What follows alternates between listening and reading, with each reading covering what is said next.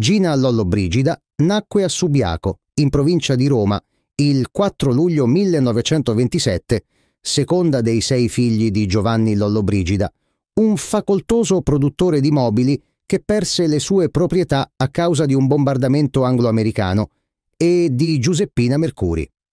Era nipote di Chelidonia Merosi, supercentenaria già decana d'Italia, e suo padre era un cugino del nonno del giornalista sportivo Marco Lollobrigida. Era inoltre nipote del fratello del bisnonno del politico Francesco Lollobrigida e sorella del nonno della pattinatrice Francesca Lollobrigida. Nel 1944, ancor prima dell'arrivo degli alleati, la famiglia si trasferì a Roma e Gina fu iscritta all'Istituto di Belle Arti.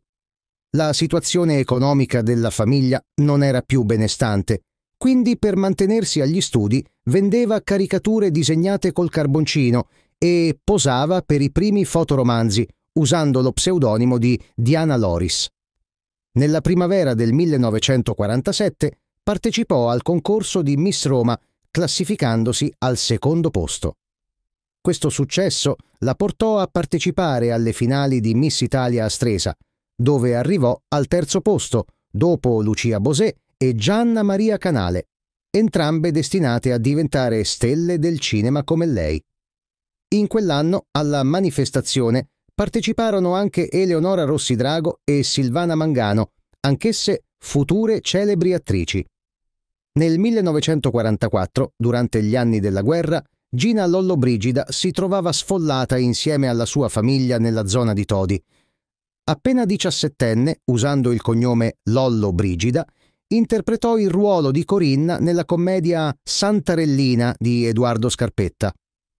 Lo spettacolo andò in scena il venerdì 8 settembre 1944, diretto da Luigi Tenneroni al Teatro della Concordia di Monte Castello di Vibio, il più piccolo teatro all'italiana del mondo. Nel 1947, ancora con lo pseudonimo di Diana Loris, fu protagonista in uno dei primi fotoromanzi italiani intitolato Nel fondo del cuore, pubblicato a puntate sulla rivista Sogno. Lollo Brigida iniziò la sua carriera cinematografica come comparsa e controfigura, per poi ottenere piccoli ruoli di contorno nei popolari film operistici dell'immediato dopoguerra. Silvana Pampanini ricordava con malizia di averla scelta per una particina in una pellicola della quale era protagonista. Nel 1950, dopo i primi successi, Gina Lollobrigida ricevette un'offerta da Hollywood, accettando l'invito del miliardario Howard Hughes, celebre produttore e scopritore di div come Jane Russell. Tuttavia, quando si rese conto che stava per essere chiusa in una gabbia dorata, decise di tornare precipitosamente a Roma il contratto in esclusiva che aveva già firmato le impedì fino al 1959 di lavorare negli Stati Uniti, ma non in produzioni statunitensi girate in Europa, come poi effettivamente avvenne. Gina Lollobrigida ottenne una serie di successi nei primi anni della sua carriera. Nel 1949 recitò in Campane a martello di Luigi Zampa e nel 1951 in Actung Banditi di Carlo Lizzani. Sempre nel 1951 fece parte del cast di Passaporto per l'Oriente, diretto da vari registi. A questi si aggiungono Fanfan la Tulipe di Christian Jacques e Le Belle della Notte di René Clair, entrambi del 1952, e interpretati insieme a Gérard Philippe, che la consacrarono come stella in Francia. Nel 1952 conquistò una vasta popolarità anche in Italia, con Altri tempi di Alessandro Blasetti, nell'episodio Il processo di Frine, accanto a Vittorio De Sica, che coniò per lei il termine maggiorata fisica. Nel 1953, ancora con De Sica, interpretò il personaggio della bersagliera in Pane, Amore e Fantasia di Luigi Comencini, premiato con il nastro d'argento e candidato al BAFTA. Questo ruolo la portò definitivamente nell'immaginario collettivo grazie alla sua caratterizzazione della bella popolana povera, dal cuore d'oro ma anche risoluta e determinata. Nel 1954 recitò in La provinciale di Mario Soldati e nel 1955 in La romana di Luigi Zampa, che le fece vincere la Grolla d'Oro a St. Vincent. In seguito affrontò ruoli più drammatici e maturi, come in Mare Matto, 1963, di Renato Castellani, accanto a Jean-Paul Belmondo, e in Un bellissimo novembre, 1969, di Mauro Bolognini, considerati tra le sue migliori interpretazioni come attrice drammatica. Dai primi anni 50, Gina Lollobrigida divenne protagonista di produzioni internazionali e hollywoodiane di grande rilievo. Nel 1953 recitò in Il tesoro dell'Africa di John Huston, accanto a Humphrey Bogart e Jennifer Jones. L'anno successivo fu nel cast de Il maestro di Don Giovanni 1954 di Milton Crims con Errol Flynn. Nel 1955 interpretò il ruolo di Lina Cavalieri in La donna più bella del mondo di Robert Zetta Leonard accanto a Vittorio Gassman, ruolo che le valse il David di Donatello come migliore attrice protagonista. Nel 1956 recitò in Trapezio di Carol Reed accanto a Burt Lancaster e Tony Curtis, ottenendo un grande successo. Successivamente fu la splendida e sensuale Esmeralda in Il gobbo di Notre Dame 1956 di Jean Delanoy con Anthony Quinn nel ruolo di Quasimodo. Nel 1959 apparve in Sacro e Profano di John Sturges con Frank Sinatra e Steve McQueen e in Salomone e la regina di Saba di King Vidor con Yul Brynner e George Sanders. Durante questo periodo partecipò anche a due film apprezzati dalla critica, sebbene meno fortunati al botteghino, Anna di Brooklyn 1958 di Vittorio De Sica e Carlo Lastricati e la legge 1959 di Jules Dassin in cui recitò insieme a Marcello Mastroianni, Yves Montand e Melina Mercuri. Nel 1961 Gina Lollobrigida recitò in Van nuda per il mondo di Ronald McDougall accanto a Ernest Borgnine e Anthony Franciosa. Nello stesso anno fu protagonista di Torna a settembre di Robert Mulligan insieme a Rock Hudson, Bobby Darin e Sandra Dee, per il quale vinse un Golden Globe come miglior attrice del mondo. Alla cerimonia degli Oscar del 1961 consegnò il premio Oscar al miglior regista a Billy Wilder per il film L'appartamento.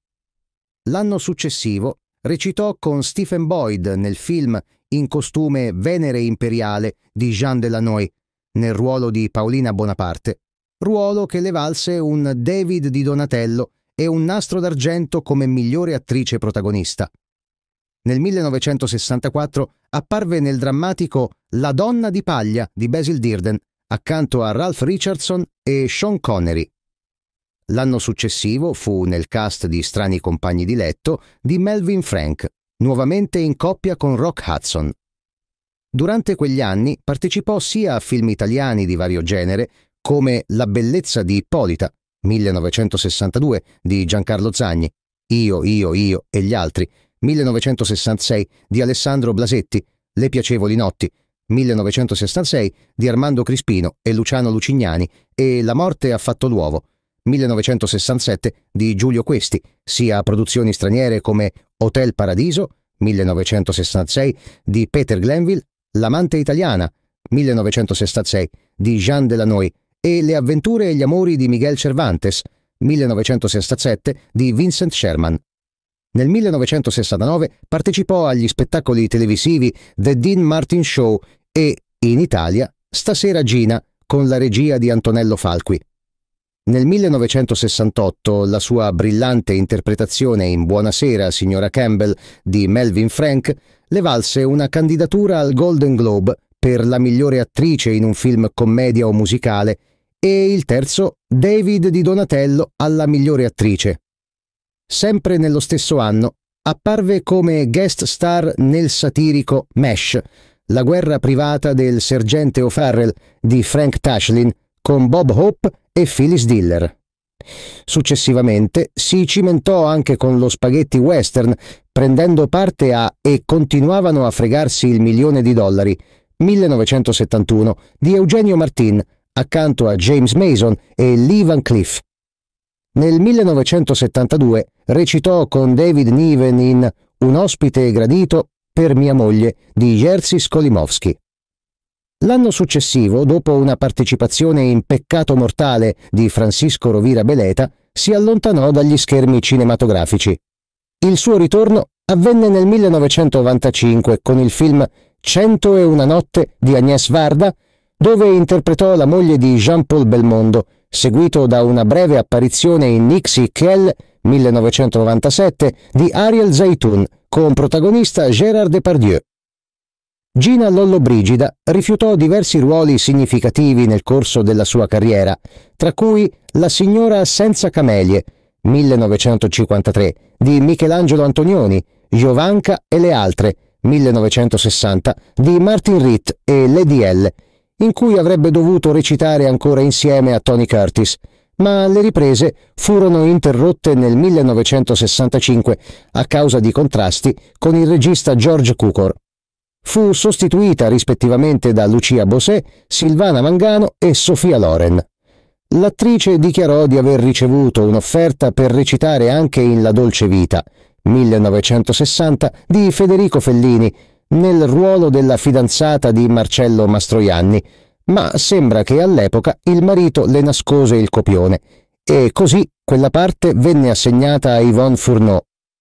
Inoltre rifiutò la parte della protagonista accanto a Valentina Cortese nel film spagnolo Nido de Viudas 1977 di Tony Navarro, perché non pagata, venendo sostituita da Patricia Nial, e di prendere parte alla telenovela argentina Milagros 1994, perché incapace di reggere il ritmo veloce delle riprese. Gina Lollobrigida ha avuto una carriera poliedrica che include non solo l'interpretazione cinematografica, ma anche la fotografia, la scultura e l'attività televisiva. Nel 1972 ha interpretato la fata turchina nel fortunato Le avventure di Pinocchio di Luigi Comencini, esordendo così in una produzione televisiva. Questo adattamento rimane ancora oggi un'opera di culto nella memoria del pubblico di varie generazioni. Dopo aver raggiunto l'apice della popolarità, ha iniziato a diradare le apparizioni sul grande schermo a partire dal 1973, dedicandosi alla fotografia, ritraendo personaggi famosi come Paul Newman, Salvador Dalí, Henry Kissinger, David Cassidy, Audrey Hepburn ed Ella Fitzgerald. Ha anche pubblicato diversi libri di reportage e si è dedicata alla scultura, esponendo le sue opere in tutto il mondo. Nel 1984, all'età di quasi 60 anni, è apparsa nel celebre serial statunitense Falcon Crest, ballando la tarantella e guadagnandosi una candidatura al Golden Globe come miglior attrice non protagonista in una serie televisiva. Successivamente ha recitato in altre produzioni televisive, tra cui la miniserie Inganni nel 1985 e due episodi di Love Boat nel 1986. Nel 1988 ha preso parte al remake televisivo de La Romana, diretto da Giuseppe Patroni Griffi, interpretando il ruolo della madre della protagonista, interpretata da Francesca Dell'Era, con cui ha avuto delle tensioni. Successivamente la sua presenza sullo schermo si è limitata a ruoli cameo, apparendo saltuariamente in televisione e al cinema, come nelle commedie francesi Cento e una notte, diretta da Agnès Varda nel 1995 e XXL, diretta da Ariel Seytoun nel 1997 e nella fiction Una donna in fuga.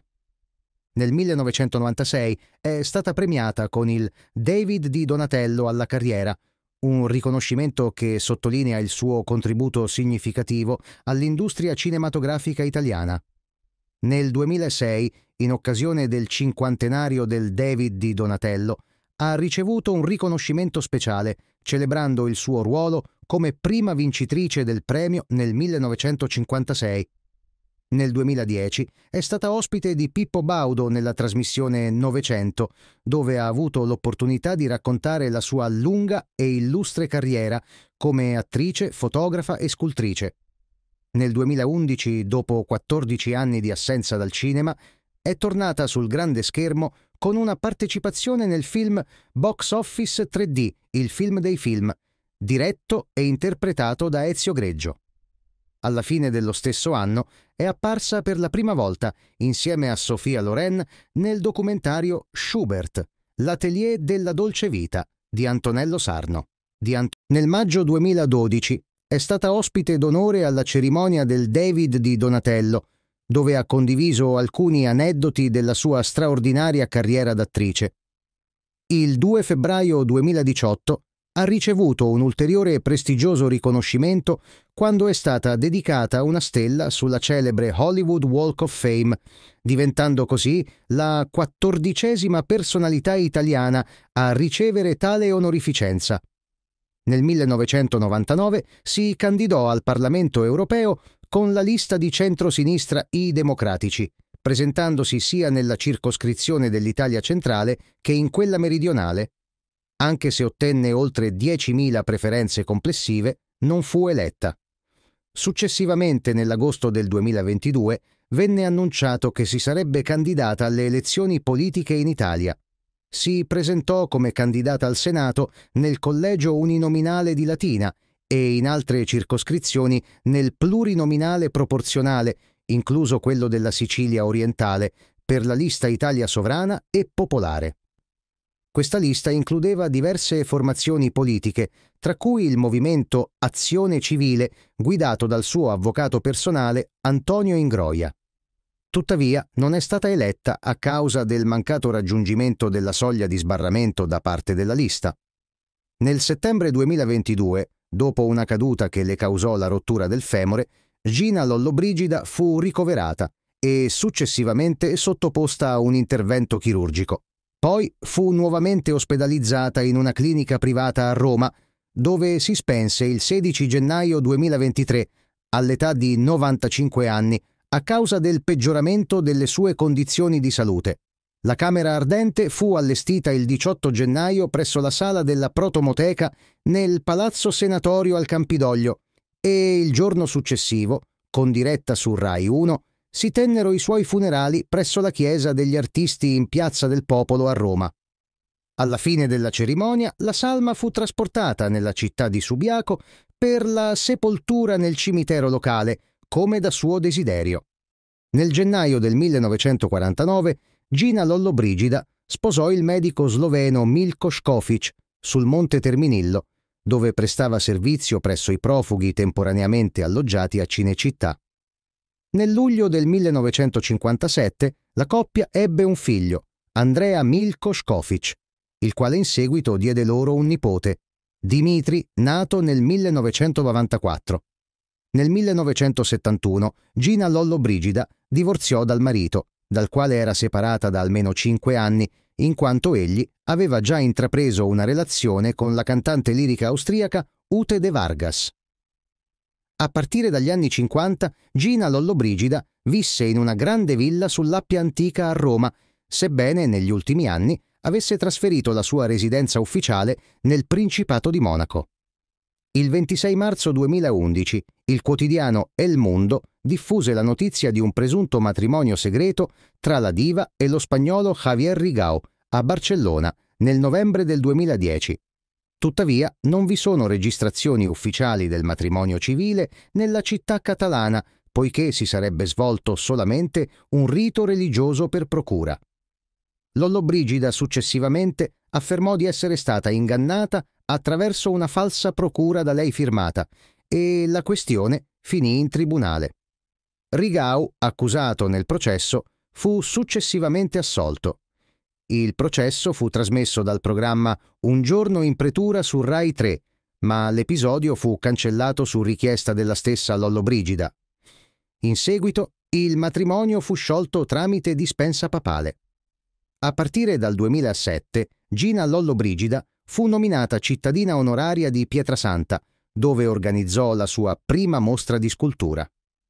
Nel luglio del 2013 mise all'asta 22 gioielli della sua collezione, firmati bulgari, presso Sotheby's a Ginevra, con il ricavato destinato a opere di beneficenza. L'asta fruttò 3.800.000 euro, con il pezzo più prezioso venduto per 1.850.000 euro, un paio di orecchini con perle e diamanti. Nel maggio del 2018, a quasi 91 anni di età, l'artista rivelò al giornale Libero di essere stata vittima di uno stupro all'età di 18 anni nel 1945, quando era ancora vergine. Il colpevole, un noto calciatore della Lazio, non fu denunciato né fu resa nota la sua identità. Tale evento tragico segnò profondamente la vita di Lollo Brigida, che affermò di aver preso la decisione di sposarsi a causa di quella violenza subita, e non per amore. Gina Lollobrigida aveva l'abitudine di parlare di se stessa in terza persona,